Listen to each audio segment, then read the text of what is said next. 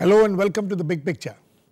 In a country with as many languages and dialects as we have, English has held its own for the last several decades and continues to grow as a preferred medium of instruction increasingly.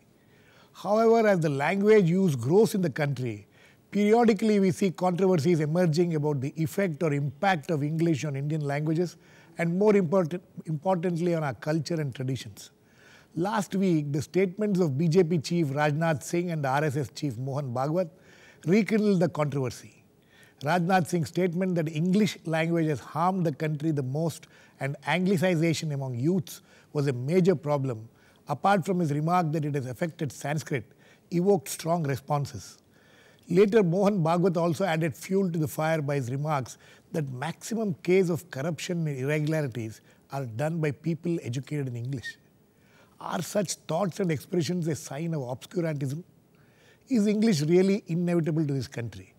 Are those who protest against English actually being hypocritical? We will discuss all this today while asking the question Does anti English rhetoric make sense in this day and age?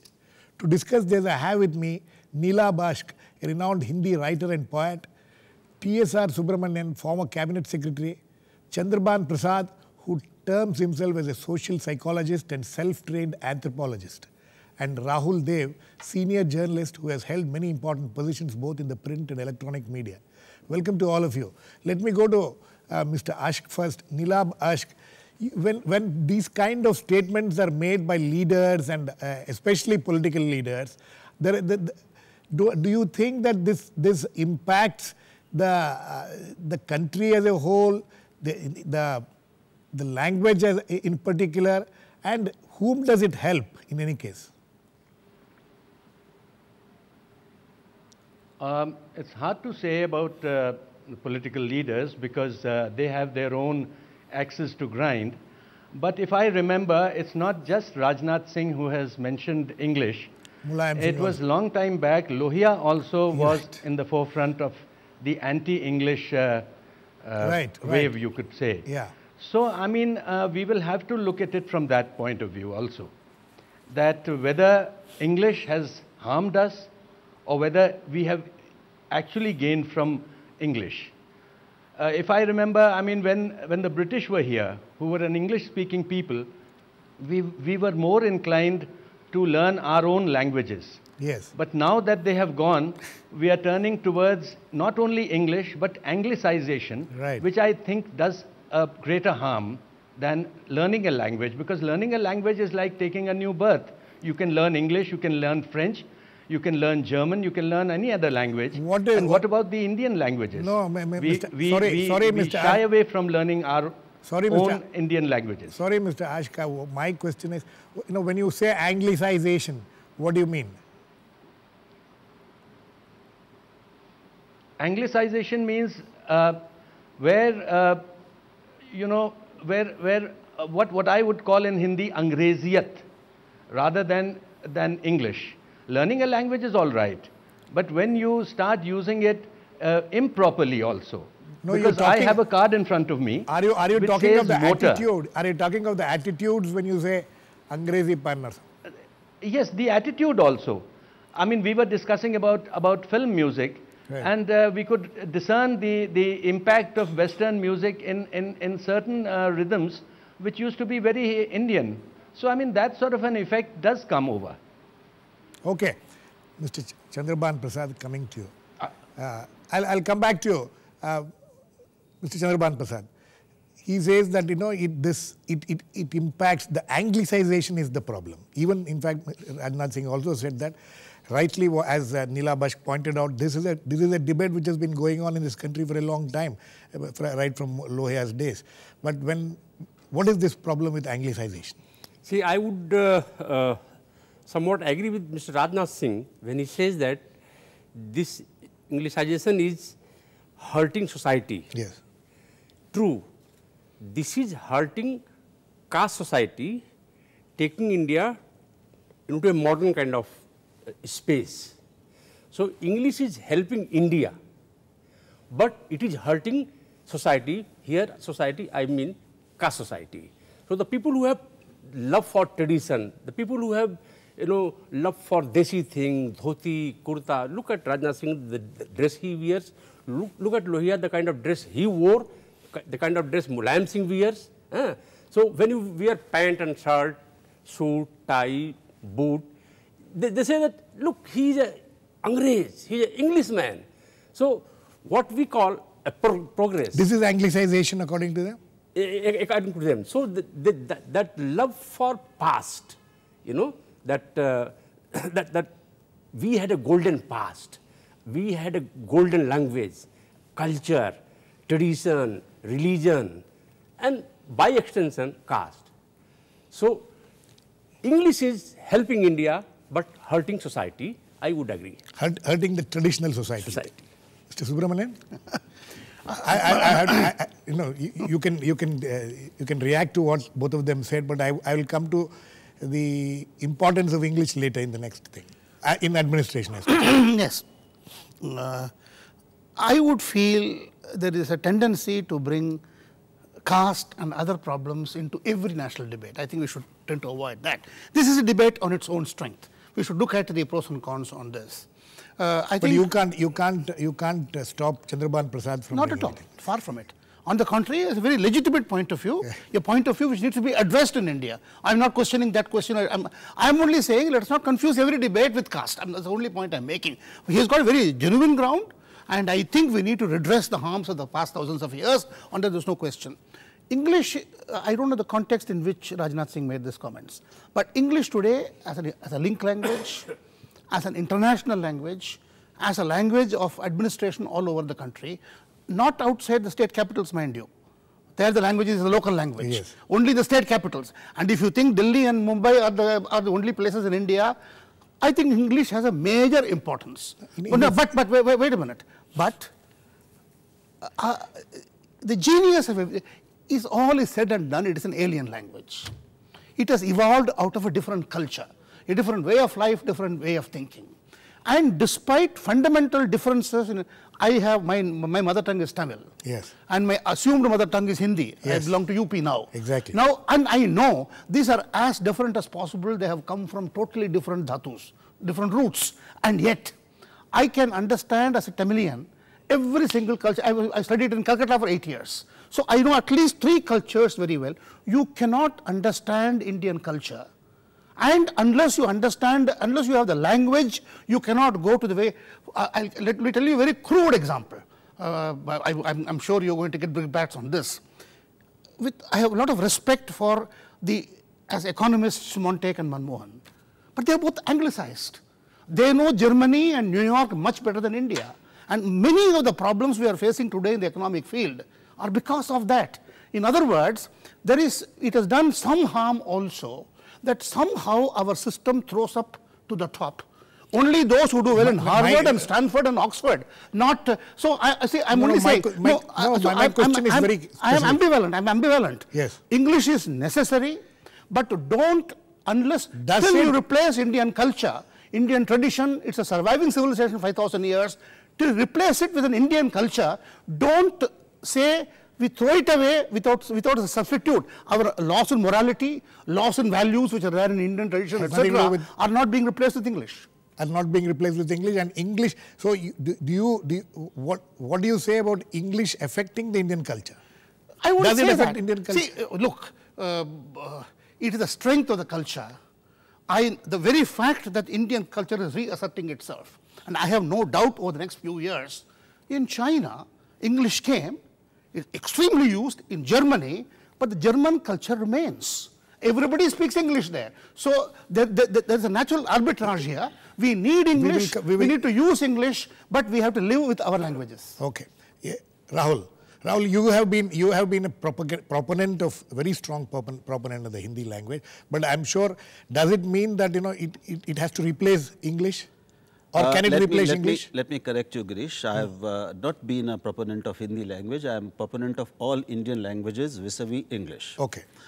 And uh, even though I'm myself a student of English literature and have been an English journalist too, I clearly, I'm very clear in my mind that English as it obtains today, prevails today in India in all walks of life is, is a burden, it has divided Indian society, it has created new divisions, it has slammed the doors of progress and self-esteem to, a, to a, at least 95 percent of Indians.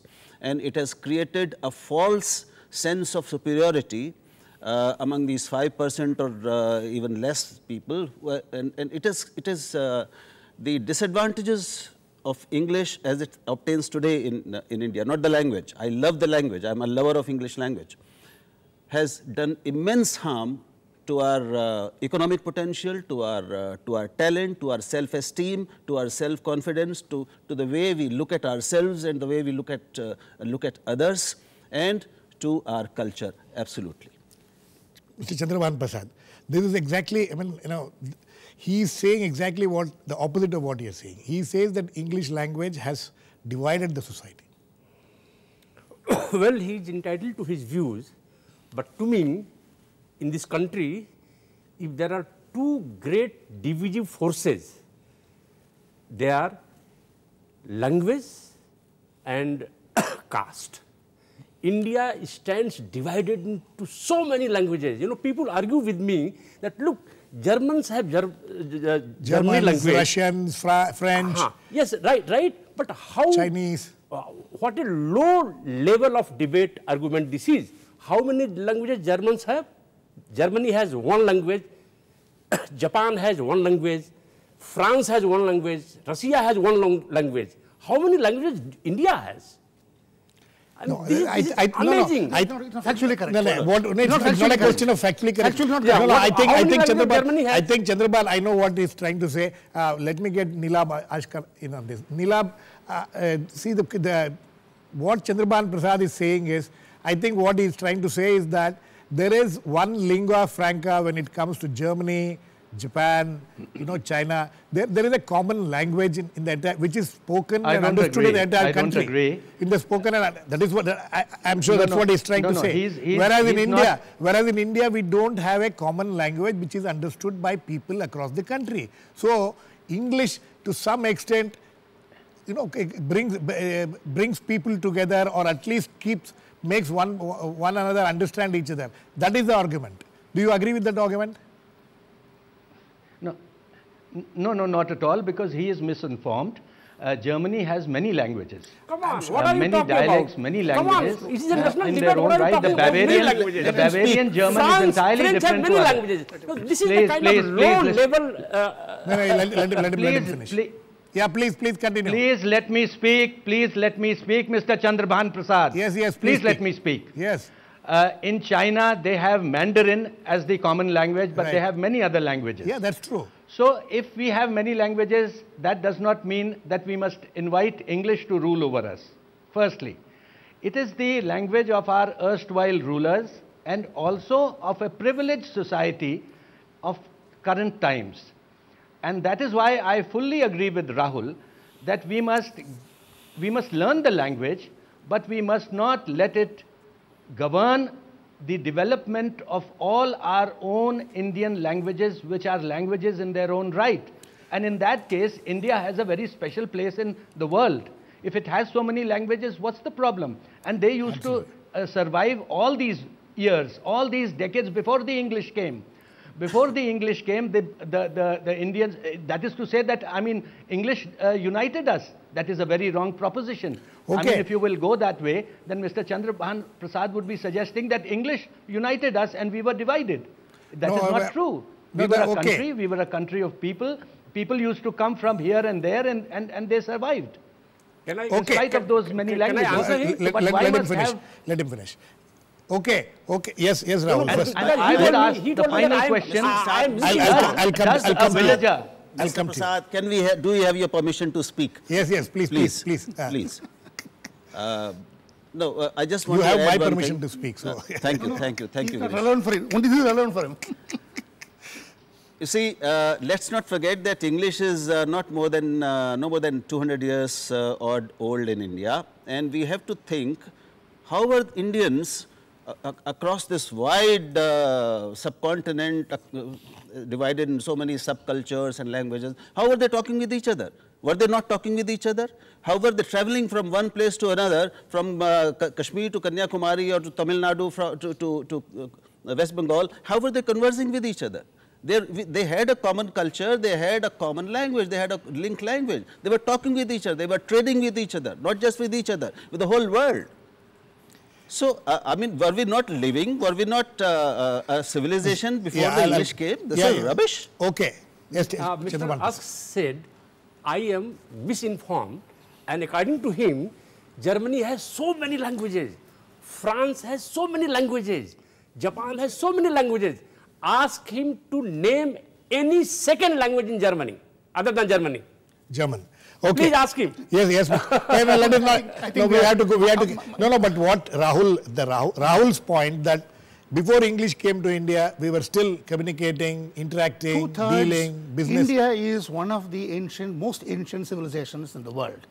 Two-thirds of mankind, India has been on top of the world. Okay. When English was not known, probably English was not even born in England. And therefore, I think it is false to say that English made India. We- I agree that in today's context, English is extremely important for India. That is exactly the point. You know, Extremely important not- for we India. not- We should not when- underestimate No, no, when we talk On the of- other hand- but I, yes. On the other hand, the India was united 2000 years back. From Pashupatinath to, to, to Kanyakumari, the same country. And uh, Shankaracharya's country was the same. So we, have, we had our own lingua franca at that time. The point of lingua franca is valid. We need one common language understood everywhere.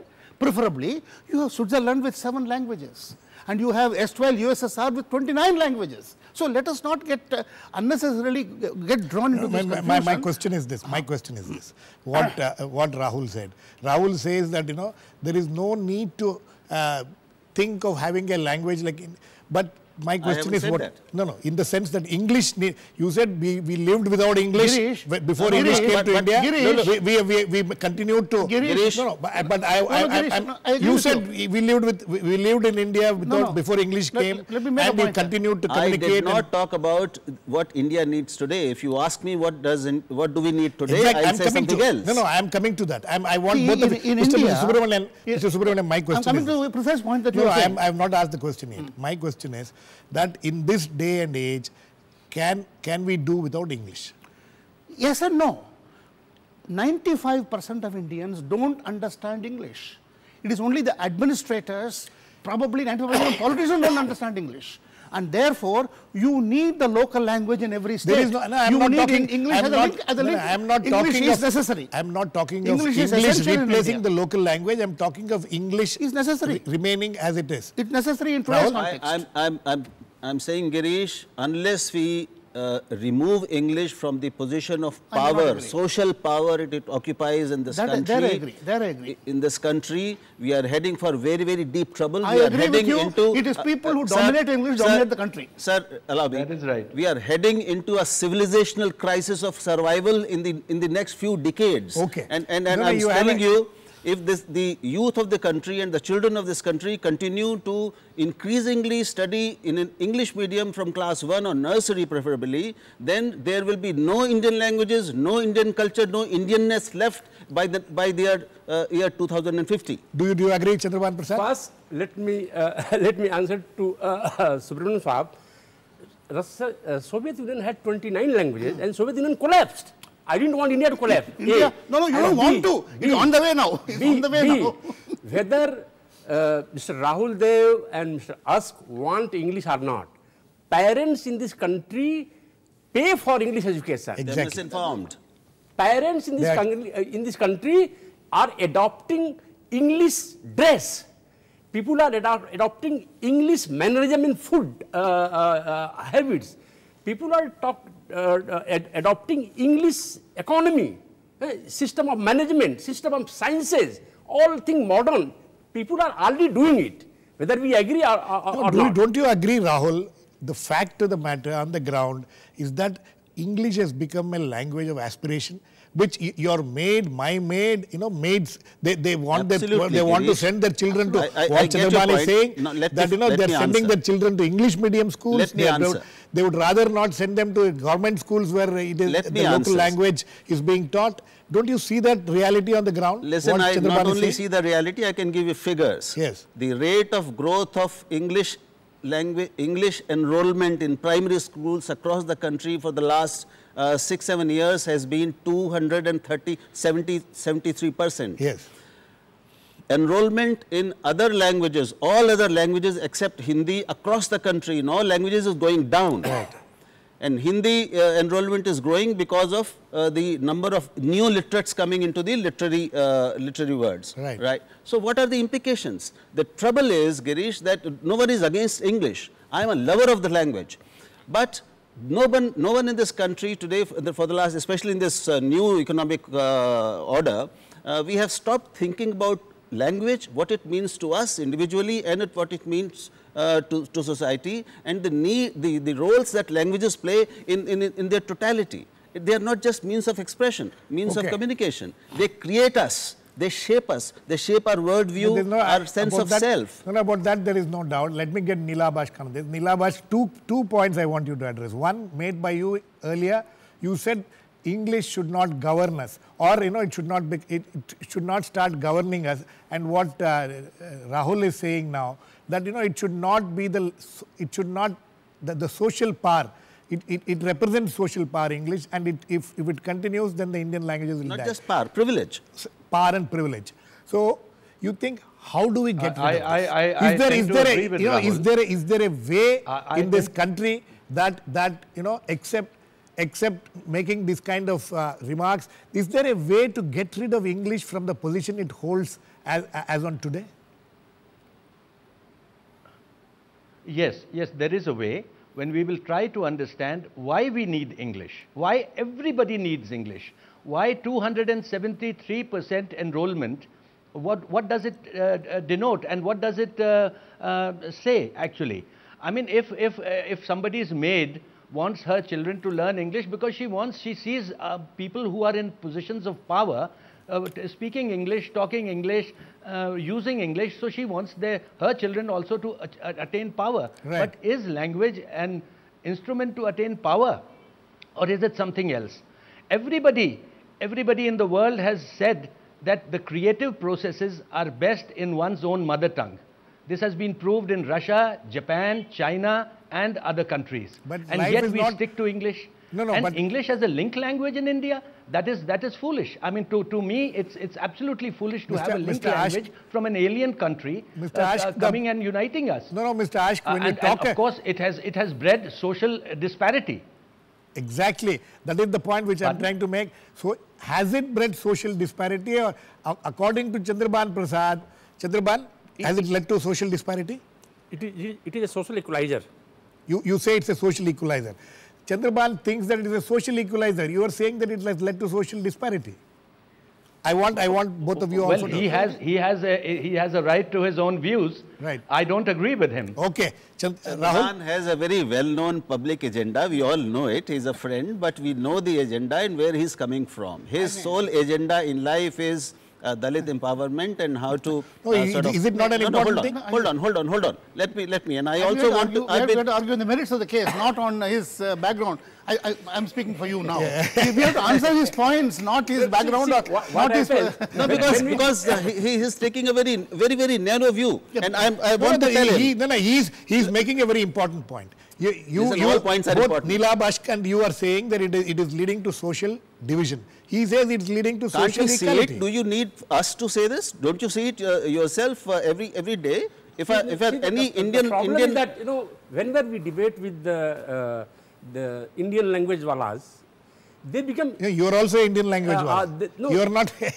they become emotional. Indian language Ah, they become emotional. I'm not Indian language de- wala. They develop. you are two Indian language wala. they become emotional. They don't argue.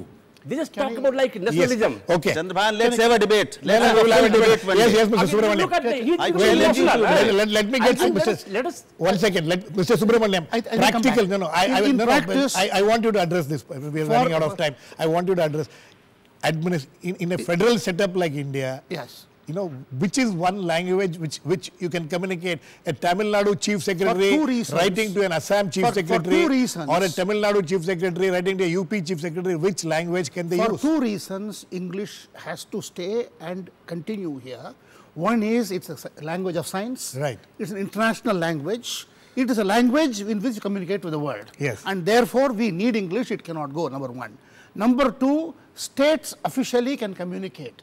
The lingua franca of administration. Yes. It cannot be the lingua franca of the people because only 3 4% of the people speak English. Right. And therefore, people have to evolve their own This lingua the- franca, which can be different. Yes. But the point is, the window to every culture is language. And all is said and done, English comes from a different culture.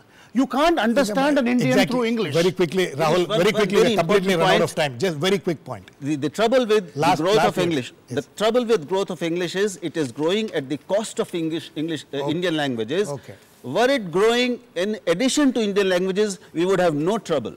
But it must not, and we should ensure that it doesn't grow at the cost of Indian languages and whatever they give us, all that they give us. Okay. On Period. I think on that note, we, we have to end. We're completely run out of time. English is growing at the cost of Indian languages. Who is responsible for it? That is a separate debate altogether. Thanks to all my guests, Neelabh Ashk, Chandrabhan Prasad, Mr. T.S.R. Subramanian, and Rahul Dev. Please keep watching. We'll come back with another issue on the big picture same time tomorrow.